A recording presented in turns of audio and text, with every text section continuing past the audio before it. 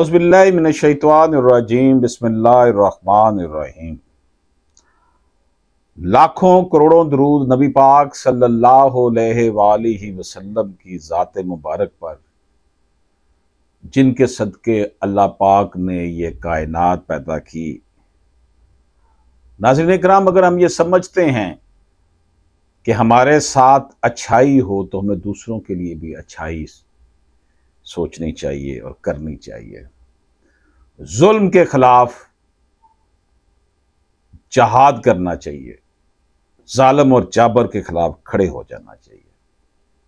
नाजरीन, आज की गुफ्तु शुरू करने से पहले आपसे एक गुजारिश है कि आपने अगर अब, अभी तक हमारा यूट्यूब चैनल सब्सक्राइब नहीं किया तो इसे सब्सक्राइब फरमा लें, बेल आइकन को क्लिक कर लें।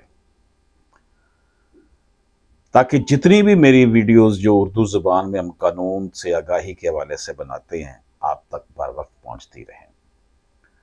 नाजरीन, खुला तलाक और तनसीख नका के हवाले से लाहौर हाई कोर्ट के एक फ़ैसले की बात करते हैं, जो कि पी एल डी दो हज़ार इक्कीस, यानी two zero two one Lahore seven five seven सात पाँच सात में रिपोर्ट हुआ है और ये रिट जुरिस्टिक्शन के हवाले से बात थी इसमें। नाजिन कराम एक खातून ने फैमिली कोर्ट में मुकदमा दायर किया, जिसमें उसने ये मौकफ अपनाया कि उसके शोहर का उसके साथ बर्ताव दुरुस्त नहीं है, मारपीट करता है। लिहाजा मुझे इससे मेरा हक मैर, जो कि तीन मिलियन से ज़्यादा है, एक मिलियन दस लाख को कहते हैं। और दीगर जहा जहेज का सामान जो इसके पास मेरा पड़ा हुआ है, मुझे वापस दिलाया जाए। और अदालत मुझे खावन से तलाक दिलवाए।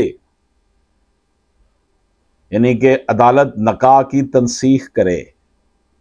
Cancellation of marriage not on the basis of khula but divorce by court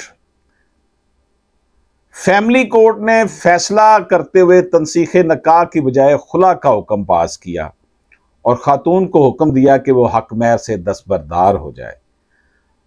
खतून ने खुला नहीं मांगा था। खतून ने कहा था, मुझे खुला नहीं चाहिए, मुझे डाइवोर्स चाहिए क्योंकि मेरे साथ वो जुल्म करता है और ये कंडीशन है। कानून की बात है ये कि अगर मारपीट वो करता है, जुल्म करता है तो उसको फिर औरत ने साबित करना है कि वाकई वो उसके साथ ये सलूक करता है। खतून अपील में डिस्ट्रिक्ट कोर्ट में की डिस्ट्रिक्ट कोर्ट ने भी यही फैसला बरकरार रखा। मजबूरन खातून को हाई कोर्ट में पटिशन दायर करना पड़े। जिस हवाले से अब ये फैसला भी आ चुका है कि आप फैमिली कोर्ट के केसेस को रेट पटिशन के ज़रिए हाई कोर्ट में अब नहीं ले जा सकते।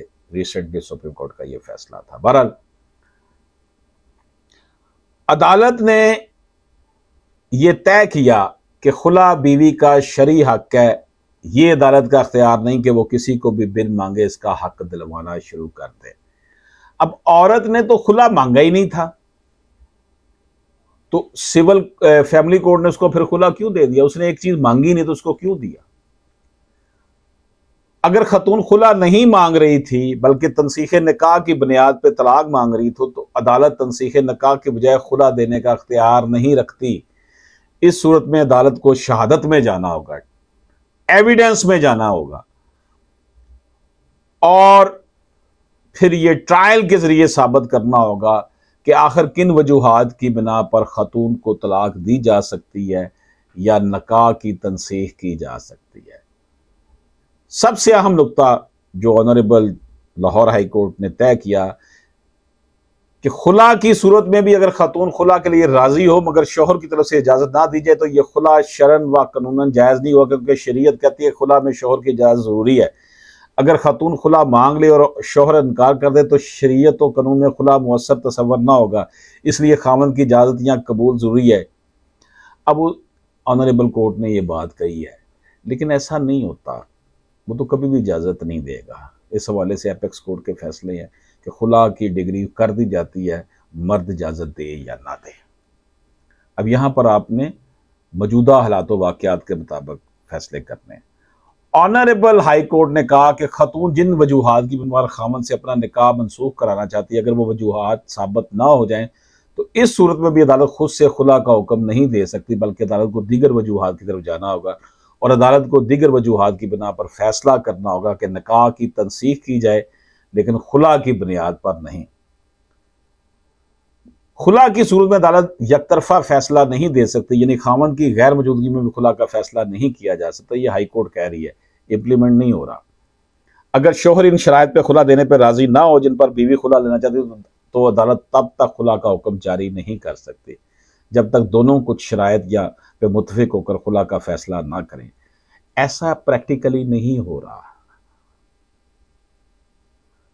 अमली तौर पर ऐसा नहीं हो रहा कि जो भी औरत खुला लेना चाहती है, उसे खुला दे दिया जाए। इस केस में औरत ने खुला नहीं मांगा था। उसने डाइवोर्स की बेस डाइवोर्स मांगी थी कि मुझे मारता पीटता है। तो अदालत ने खुला दे दिया। तो हाई कोर्ट ने कहा, जब एक चीज़ आपसे मांगी नहीं गई तो आप इसे क्यों दे रहे हैं? इसके साथ ही अशरफ आसमी एडवोकेट को इजाज़त दीजिए, नाजरीन। हमने आपकी खिदमत में यह जजमेंट पेश की। अल्लाह हाफिज़।